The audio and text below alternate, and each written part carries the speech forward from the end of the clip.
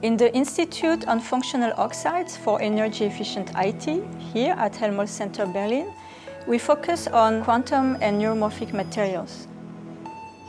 Our vision is to address grand challenges in the field of information technology that target low energy consumption. We have two focuses. We develop artificial quantum materials that do not exist in nature and that can host novel properties emerging from the nanoscale, from the confinement or strain that we create. We have a special interest in how exotic polar textures form.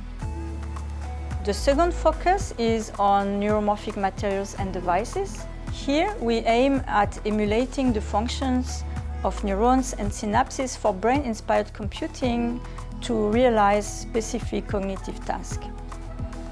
In our research, we address the whole chain from material synthesis to advanced characterization, devices, and finally integration in prototype circuits. So here we are at the Molecular Beam Epitaxy Laboratory. This is a state-of-the-art equipment that allows us to grow epitaxial ultra-thin films. We can control the growth almost atom by atom of perovskite compounds on silicon and with the connected XPS tool, we can analyze the interface that is formed before the next layer is grown. We also use atomic layer deposition that allows as well control of the growth at atomic scale. To understand and optimize the physical properties of our materials, we need to be able to characterize their crystalline structure, interfaces, defects and chemistry at the nanoscale. This is quite a complex task requiring multiple complementary probing techniques. We combine correlative microscopies and spectroscopies to investigate the size and strain dependence of polarization patterns in ferroelectrics, or how the interfaces influence polarization switching and its dynamics. We use Raman spectroscopy, spectroscopic ellipsometry, XPS, electron microscopies and scanning probe microscopies such as conductive AFM and PFM. All these characterizations generate a large amount of data, especially when mapping the property spatially. So we apply machine learning methods for the data analysis to reveal hidden trends. At IFOX, we developed device concept based on our material growth expertise and physical insight that we gain with extensive characterization.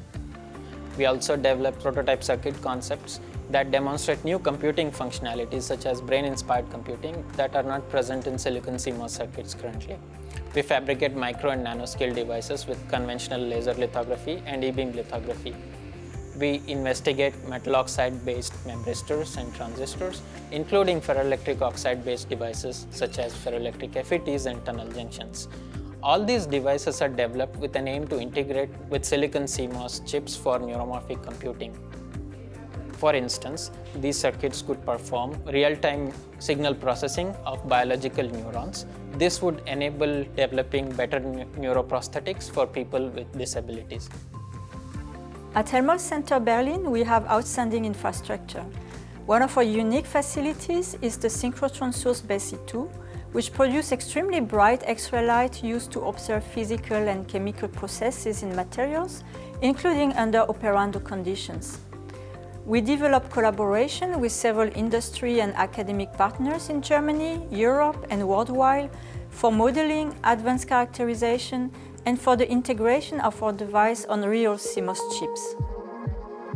One mission of our institute is to train young scientists.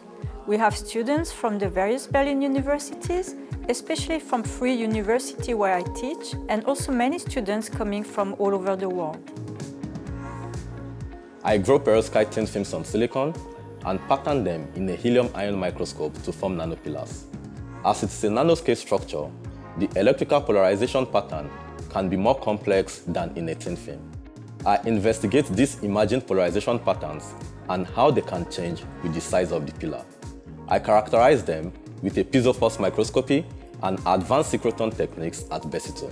I am working on amorphous gallium oxide-based devices I deposit thin films using plasma-enhanced atomic layer deposition, where I can control the thickness on atomic scale and tune the electrical properties. After fabricating transistors in the clean room, I chemically and electrically characterize them, and then I use this understanding to better the device performance. After my master's in South Korea, I wanted to pursue my PhD degree in Europe as it is relatively closer to my country, Nigeria. Helmholtz Zentrum Berlin has an excellent reputation and I felt it would offer me a great start to my research career. At IFOX, we work from material growth to applications in devices, and this gives an excellent opportunity to expand my knowledge on a broad spectrum. We are a group of six PhD students from various backgrounds, so it's really fun to work together. At Helmholtz Center Berlin, in addition to world-class infrastructure, we have the chance to work in a very supportive environment for research and with many talented scientists and supporting staff. Besides nanoelectronics, metal oxide are also studied at HZB for different applications like solar fuels, photovoltaics or catalysis. This is an outstanding multidisciplinary environment to get various expertise and nurture new ideas. The science we do in quantum and neuromorphic materials allows everyone to express their creativity and provides the excitement of working on grand challenges for the benefit of society. By creating the next generation of materials, we aim at a more sustainable future.